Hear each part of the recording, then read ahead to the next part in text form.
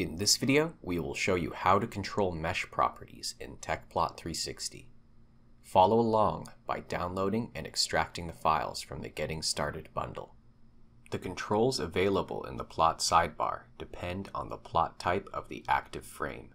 For 2D or 3D Cartesian plot types, you can show or hide zone layers, zone effects, and derived objects from your plot.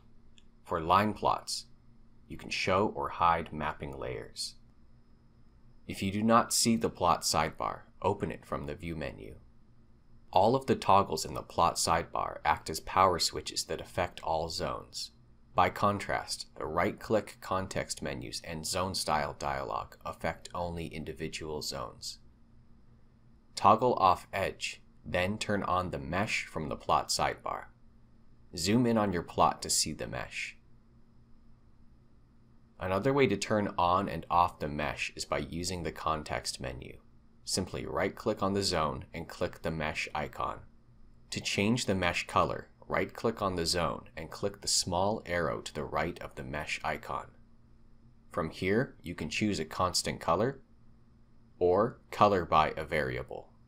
The zone style dialog allows control of additional properties such as line thickness and line pattern. An easy way to launch the zone style dialog is to simply double click on the zone. When double clicking on the zone, that zone will be pre-selected in the zone style dialog. The Zone Style dialog may also be launched using the Zone Style button on the plot sidebar. Note that the context menus and Zone Style dialog also control the other plotting layers contour, vector, scatter, shade, edge, and translucency from the Effects tab. This concludes the tutorial for controlling mesh properties in Tecplot 360. Thank you for watching.